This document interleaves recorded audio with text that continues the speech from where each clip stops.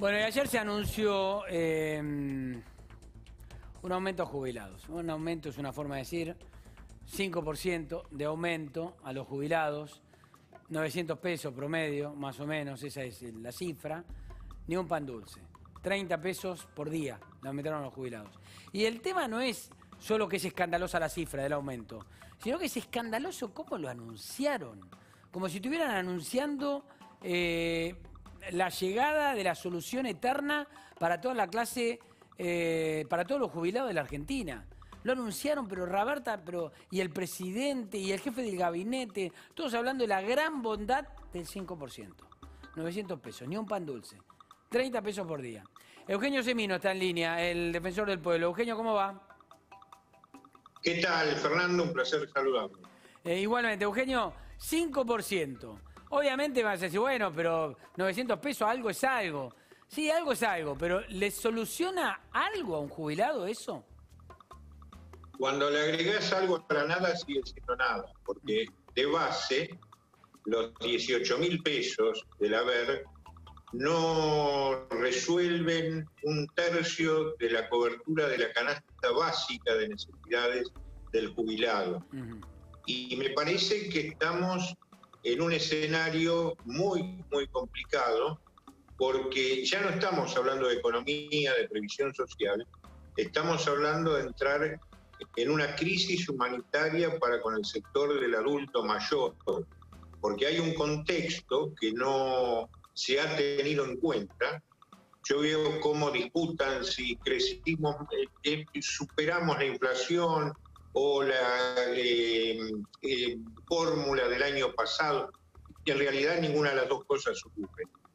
Eh, al margen de, de, la hipocresía, me parece que lo que hay que tratar es de sincerar la situación, porque también es la, lo que hoy tiene el jubilado es una extrema debilidad, no solo en términos de su haber, sino en términos de la contención familiar, es decir, el ingreso de las familias que ayudaban al jubilado, se ha resentido notoriamente durante todo este periodo. Han perdido trabajos, han perdido ingresos. Claro, claro, claro. Pero a su vez hay otro eh, tema que hay que resolver, que hay que afrontar, que es que el COVID, más allá de haber tenido y tener actualmente un 70-80% de víctimas adultos mayores, a su vez quienes han tenido la enfermedad, quienes han sufrido, tienen que tener un control de salud y una cantidad de recursos para poder mantenerlo muy importante y a su vez todo el sistema, todo lo que son morbilidad que no fue atendida durante este año, por lo cual hay un traslado que lo que no se invierte en eh, generar calidad de vida, se va a gastar el triple en salud con un resultado gravísimo. Por lo cual me parece que... Sí, perdón. No, no, no, digo, con todo este panorama que está contando, eh, un poco el gobierno lo que dice y mantiene es que con los bonos que, que fue, perdón, con los decretos que fue sancionando y estos aumentos jubilados que se dio generalmente de manera trimestral, los jubilados le están ganando la inflación este año. ¿No es así para ustedes, de ninguna manera? No, eh, eh, cuando uno discute una falacia, el resultado es construir otra. En realidad, lo que hacen los funcionarios, toman una media de, los saberes para decir, en esta media este, se le ganó a la inflación. El derecho previsional, como muchos otros, es subjetivo. Hmm. Es decir, eh, cuando te dicen los de la mínima estuvieron por sobre la inflación, cosa que no lo es tampoco, y los de la máxima perdieron 18 mil pesos, en realidad están tomando una media inexistente. Es decir, ¿qué va a pasar todos los que quedaron por debajo de la fórmula, que son más de 2 millones de jubilados, van al litigio, es decir, generamos litigiosidad habitual en el sistema, porque es un sistema que se viene compensando a través de la muerte de sus beneficiarios en la eternidad que tarda la justicia en resolver. Pero por otra parte, los que tienen los saberes mínimos y demás, se cuentan bonos como integrantes de un haber que en realidad esos bonos se diluyen inmediatamente o se agrega, por ejemplo, gastos de medicamentos como si fueran integrantes del haber jubilatorio. Esto es eh, muy grave a su vez porque lleva a condición de subsidio a lo que es un derecho previsional.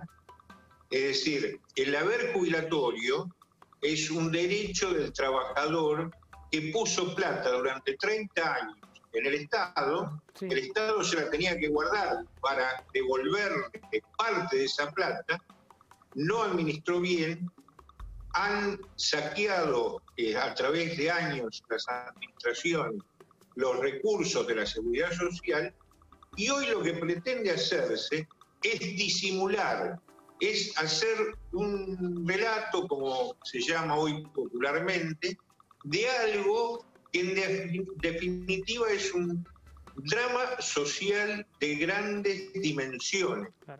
Y yo lo advierto y se lo digo a los funcionarios, le requiero al sistema político que tomen cuenta de esto.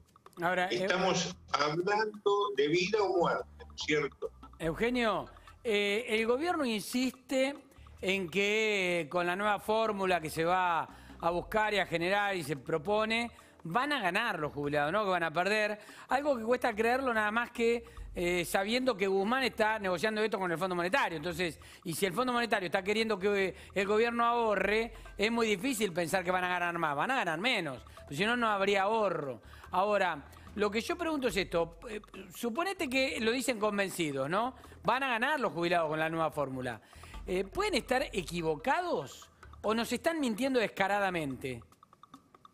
No, yo creo que es parte de una simulación que es muy peligrosa, insisto, porque inclusive la propia fórmula, que es la que rigió entre 2008 y 2017, pero empeorada, porque recordemos que aquella vieja fórmula, como esta, toma dos variables que son la variación del salario del trabajador activo y la recaudación de impuestos que tienen porcentuales destinados a la seguridad social. En términos de lo que es la variación del salario, aquella fórmula eh, tomaba dos índices, el RIPTE, que es el que suministra la Secretaría de Seguridad Social, y el, que suministra el INDEC. De esos dos se aplicaba el mejor, el que más beneficiaba al jubilado. Ahora hay un solo índice, que es el RIPTE. Tema dos, la recaudación. A la recaudación se le pone un techo y no tiene piso. ¿Qué significa esto para los televidentes? Si en este semestre se recaudan 50 y en el próximo se recaudan 100, porque hay un fenómeno de consumo masivo y demás, el jubilado no recibe el beneficio de los 100, sino el techo está puesto en los 50 de este semestre más el 1.3%. Vale decir, si gana el país, si crece el país, el jubilado no lo recibe. Mm. Y sí corre el riesgo, porque no tiene piso, que si la recaudación cae mucho, lo que hace es impactar sobre su propio... Se, se come toda la caída. No tiene, no tiene destino, es decir, en el mejor de los casos, mm. Fernando, eh, lo que garantiza, y yo creo que a eso eh, se marcha y tal vez eso sean los acuerdos, yo no, manejo el tema político, eh, a preservar un estatus de, como lo llaman, gasto de la seguridad social similar al que hay hoy actualmente y que sea absolutamente previsible. No, no, importa que se vaya deteriorando la calidad de la prestación, ni tampoco importa que se deterioro de la calidad de vida del adulto mayor. Entiendo, sí. Y esto es una, es una visión miope, absolutamente miope, porque lo que no se gasta en garantizar esa calidad de vida se gasta el triple en la enfermedad, en atender la enfermedad, en atender la pobreza. Eh, más allá de las consecuencias eh, de, lo humanitario que pueden ser absolutamente terribles, como lo vienen siendo. Este año fue un año terrible para los adultos mayores y no se toma en cuenta tan siquiera para poder plantear respetuosamente el problema, para decir no tenemos plata, el sistema, y es más, es culpa de todas las administraciones, pero veamos cómo lo resolvemos. No tapemos, no tapemos esto porque va a explotar de la peor manera. Mm. Y hay una especulación perversa que es que los viejos nos morimos antes de reclamar. Mm. Y esto, si no se cambia ese sino, eh, no se cambian las políticas. Está, muy bien, dale. Eugenio, ¿hay, hay algún Tiene que estar claro para todos los que hacen política. Sí, perdón. Eugenio, ¿hay algún dato que imagino que tienen de qué nivel de judicialización en este momento existe entre jubilados y, justamente, eh, nada, básicamente el ANSES en cuanto a lo que representa el reclamo de dinero y lo que se viene aparte, imagino? Mira, hoy Hoy hay, eh, cuando sé, pero de larga data, alrededor de 350.000 expedientes. Sí. Eh, que se van liquidando anualmente alrededor de 40.000 sentencias. Esto es el stop. Ahora, lo que va a generar eh, esta situación, y ya lo está generando, es un flujo de nuevos juicios porque hay de los 6 millones, hay 2 millones hmm. que pierden y mucho. Los, saberes medios o los saberes más altos están perdiendo entre 10 mil y 18 mil pesos por mes. Por lo cual, todo eso... Estamos teniendo un problema, ¿no? Con el audio. Lo que significan es eh, juicios, es volver a, los casos como fueron Badaro y demás, donde vemos que el Estado algún día paga lo que debe, ya debe seis puntos de diciembre del 2017 confirmados por la Corte, claro, por, eso. por el factor empalme, y en realidad este, también vemos, como lo hemos visto desgraciadamente, jubilados muriendo a la espera, ¿no? Claro, digo, hay, hay por lo menos dos o tres jubilaciones, eh, reformas jubilatorias que están pendientes y que fueron judicializadas ya a esta altura. Y se viene una más. No, digo, a ver, a ver si me, si me escucha, Eugenio, que digo que ya en el pasado, no tan lejano incluso, hablaba recién de 2017, pero también hablaba de antes, eh, hay varias etapas de judicializaciones abiertas. Es sin sonido por reformas jubilatorias. Bueno, un poco lo, que le estaba lo que le estaba mencionando a, Eugenio mientras recuperamos el sonido. A ver si Eugenio nos está escuchando, me parece Eugenio Semino. Eh, nosotros lo estamos viendo. Ahora sí. Ahora sí, dale. Entonces, Bernardo, repetí la pregunta, por favor. Que, que digo, ya van por lo menos dos o tres reformas jubilatorias diferentes que se judicializan y quizás se viene una nueva. Te escucho a vos, Fernando, no escucho. No, me eh, parece, puede ser, que te, puede ser que te esté entrando un llamado, Eugenio. A lo mejor, si lo pones en vibrador, cuestión de que no te interrumpa, a lo mejor puede ser que. Este. Que lo corrijamos. A ver, ¿me estás escuchando ahí? Si no, pregúntale vos, Fer, quizás, básicamente esto. Yo, yo ahí, bueno, ahí Perdimos, perdimos la comunicación con el Eugenio. Se vino muy interesante lo que estamos hablando con el Eugenio Semino, que obviamente conoce al dedillo, ¿no? Lo que le pasa a los jubilados en la República Argentina.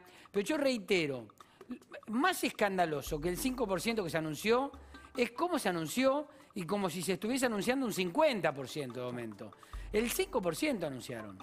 Que lo hacen por decreto, eh, que lo hacen cuando ellos quieren no, no hay previsibilidad para cuándo van a recibir los aumentos de los jubilados. Y además un 5% que queda no escaso, recontra escaso, cortísimo queda para la situación que están viviendo los jubilados, que ahora en de 18 van a cobrar, o en de 18 y pico van a cobrar 19 y pico. Son 900 pesos más. 30 pesos por día. Como si fuesen 30 pesos por día resolver la situación de, de los jubilados en la República Argentina, de que gana la mínima además, ¿no? Ese es el tema. 19 mil pesos, 19 mil 35 pesos es lo que van a cobrar los jubilados a partir de diciembre.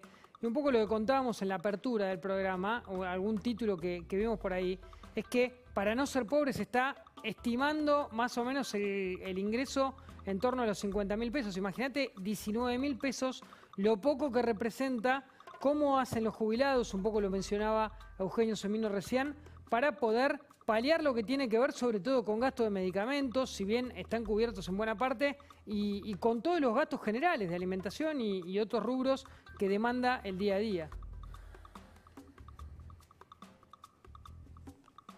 A ver. A ver. Está. No, no está Eugenio Semino.